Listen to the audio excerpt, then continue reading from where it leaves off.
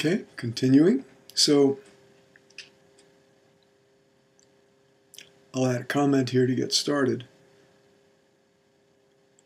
In these credentials, I'm not just going to be communicating about the heart and the sun in the heart, though I will be. I'll also be communicating about other aspects of my own, you could say, mystical, yogic, spiritual experience that are very pertinent for a lot of people today, I, I know quite well, and that certainly were for me. And I'm going to be relating these to my experiences and realizations of the heart as we go. So, continuing, this is uh, midsummer 1970. I knew I needed to look east for this huge need, to satisfy this huge need for a transcendent realization of absolute oneness with God. At that point, I came upon a copy of a very well read book at the time, Autobiography of a Yogi by Paramahansa Yogananda. I was staying at a friend's apartment for several days in Boulder, Colorado. With nothing else to do, I devoted three days to reading the book straight through. Yogananda's story was an eye opening revelation for me, as it had been for so many of my hippie comrades. He'd been in the West for a few decades when he wrote it, and what he created was a clever communication indeed. Following yet another chapter of still more outrageous, mind boggling miracles, heroic tales of great gurus and saints, and yogic interpretations of the works of such diverse individuals as Jesus and Luther Burbank, Yogananda would offer clear summaries of the latest scientific understanding of the subtler physical laws of nature. He spoke to my desire for miracles, and then he backed it up with rational logic and scientific endorsements for my Western mind. In this way, Yogananda opened me to the whole universe of spiritual phenomena, including the guru disciple relationship and all the energetic, psychic, and subtle phenomena of yogic visions, ecstasies, and samadhis.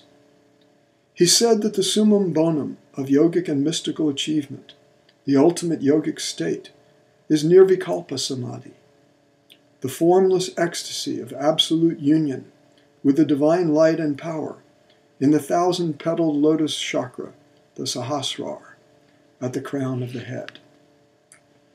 Now, nirvikalpa Nirvi is non kalpa is form, so it's formless.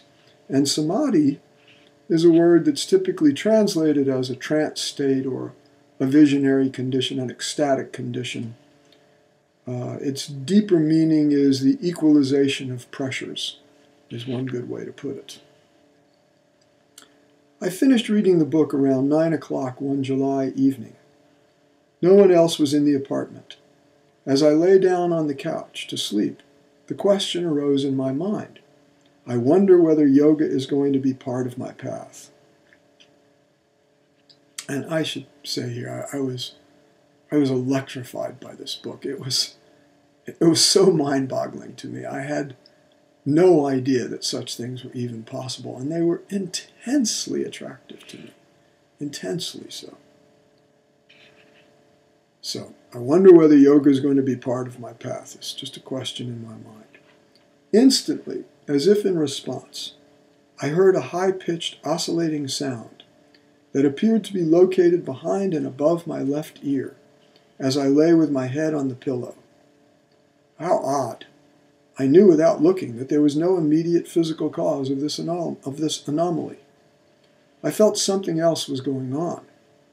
Yogananda had talked about meditating on currents of sound, so I decided to just relax and contemplate the sound itself. No sooner had I made this decision and given the sound full attention than an astonishing thing happened. Or I should say, I would have been astonished, except that it all transpired so quickly I had no time for surprise. Immediately, upon my relaxing and listening, the sound moved swiftly to right outside my left ear, and I know, yes, you're seeing it as my left ear, okay. and then, then shot into it and right into the very center of my brain. When it reached the center of my head, it was as, as if a rocket took off inside me. I instantly felt myself in an extremely small form on the top of what felt like a wave of energy hurtling at tremendous speed, right, at, right straight out the top of my skull.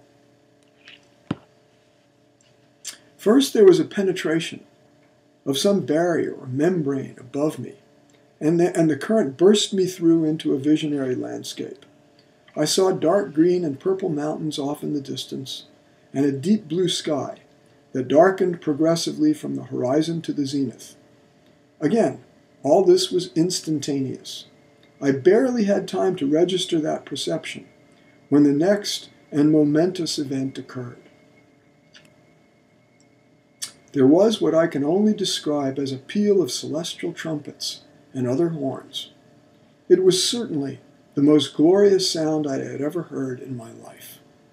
It only lasted for an instant, however, the celestial version of heraldic horns, and then the still rocketing current of energy blasted me through another membrane at the top of that world, and into what I absolutely knew not. The only way I was aware that something had occurred, and what its characteristics were, was by inference at some later instant. What then occurred was that I suddenly came crashing back down out of an absolutely immense, infinite condition of freedom and utter joy and intensity. That I could feel was at the sheer top of everything that exists. I was now flashing back down into my body, which I landed in, as it were, with a kind of shock or jolt. The supernal light of wherever I had been was still so strong that the insides of my entire body were illuminated in a radiant flash. Then I was back, myself again, lying on the couch, amazed. The first thought that occurred to me was, okay, I guess yoga is going to be part of my path.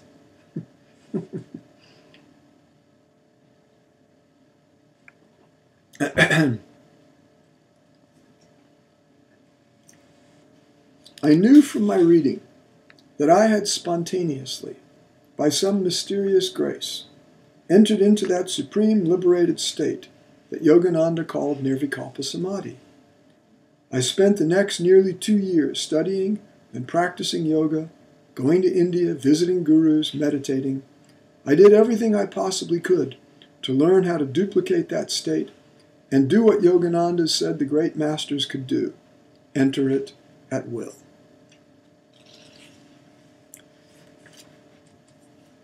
So I'll stop the, the reading there. What else to tell you about this?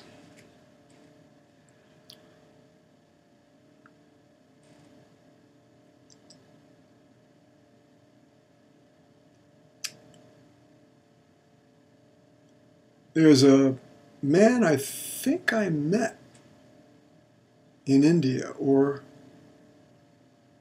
pretty sure I met him in India, or maybe later at an important experience that I'll share that's much more about the heart.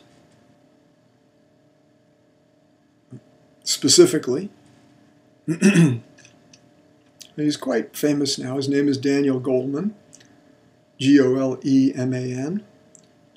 And he is the creator of the, the phrase and the, the whole perspective on human maturity and wisdom that uh, is called emotional intelligence. And Dan Goleman was, and I presume in many ways still is, uh, a devotee of the great Indian yogi saint named Neem Karoli Baba, who is called Maharaji, who, if you're a connoisseur of these things, uh, this is one of the first living Eastern masters who was brought to the attention of the West in a very powerful way, uh, not by Yogananda, who I was, whose book I was reading, but by uh, a man named Richard Alpert, who became known as Ram Dass, who is still alive today. And uh, I won't go into all the story of how I met Ram Dass and also uh, Daniel Goleman. The reason I'm bringing Goleman up is because in one of his early writings, I think it might have been called The Varieties of Meditative Experience, but I'm not, I'm not sure. I remember a specific phrase he used. He described how when one goes into such a state, as I temporarily went into, it can create what he called cognitive shock. And it's safe to say that that's what happened for me. It blew my world to bits. Yeah, reading Yogananda's book definitely opened up my mind and my heart and my soul. It, it made me aware of all this part of human potential that nothing whatsoever had communicated to me in my uh, younger life, my time in my family, my schooling in a small southern town, and then going to actually a very uh, unesteemed preparatory school in Tennessee, from which I then was able to get a actually pretty fancy kind of what's called honorary scholarship, an honorary national scholarship to Harvard that was only given to about 50 guys in the whole class of 1,200 for leadership potential, blah, blah, blah. Linda likes me to share about these things. I always feel a little shy about it.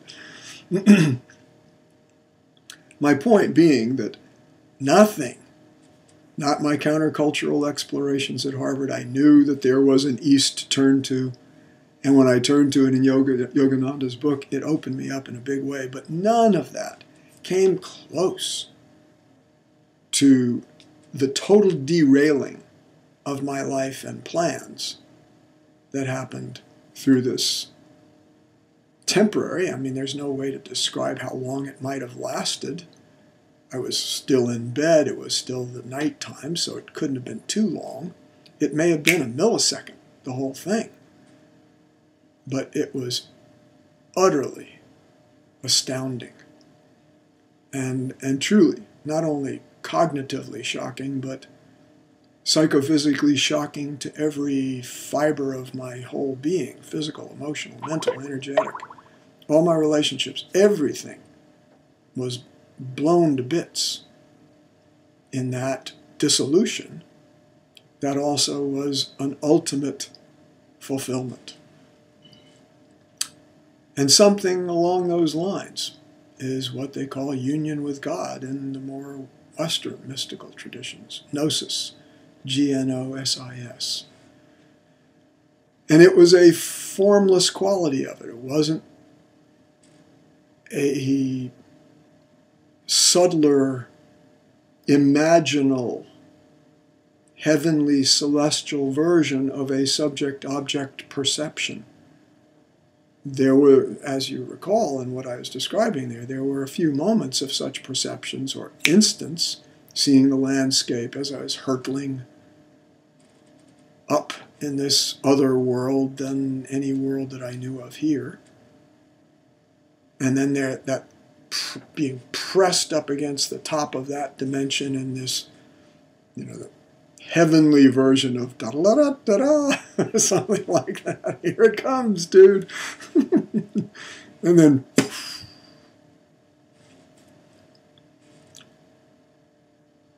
So, utter pressurelessness. Not, not even having known how confined I felt until.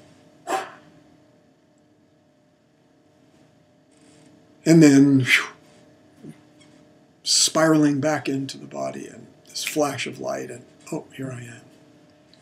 So that was that. More to come.